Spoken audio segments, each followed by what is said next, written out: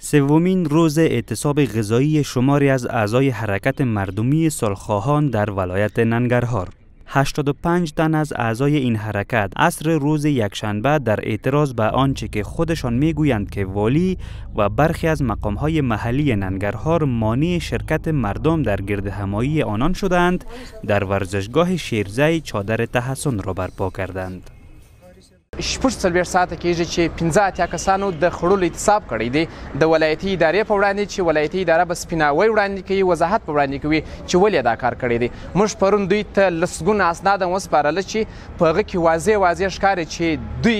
د غونډې مخنیوی کړی دی د دوی سرتیرو د غونډې مخنیوی کړی دی د دوی له خوا څخه له یو شمېر ادارو له خوا څخه نورو ادارو ته ایمیلونه استول سوي دي په ایمیلو کې ورته ویل سوي دي چې پام چې په غونډه کې ګډون ونه کړي په غونډه کې چاودنه کیږي خبرنگاران به روز و میخواستند که از اعتصاب غذایی اعتصاب کنندگان خبر تهیه کنند اما نیروهای دولتی به خبرنگاران اجازه نداد تا چگونگی حالت اعتصاب کنندگان را به تصویر بکشانند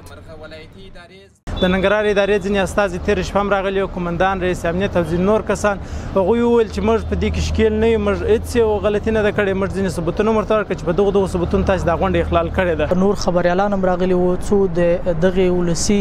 حرکت غړو چې دوی احتساب کړی دی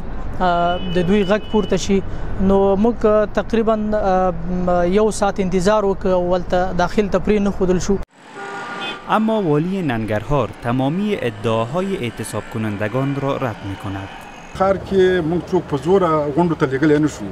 موږ په زوره دوکانونه بندولی نه شو چې تاسې لاړ شئ، دا مدني حرکت دی او خلک باید په خپله خوښه راشي. نو د جلال اباد په ښار کې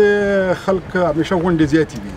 نو د غونډو سره لږه دلچسپي کمه وي لکه د ولسوالیو په تناسب. نو چې کله دیو دغه تعداد کم ولیده نو د دیو دا دغه وکړه چې ولې دا خل تلاشي کیږي نو تلاشي خو باید وشي اما هیڅ امنیتي ارګان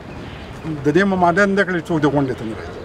موږ د سولې طرفدار یو موږ د خلکو د مدني حرکتونو طرفدار یو همیشه د دې حمایت کوو اعتصاب کنندگان هشدار می دهند تا هنگامی که به خواستهایشان پاسخ روشن داده نشود دست از اعتصاب غذایی بر نخواهند داشت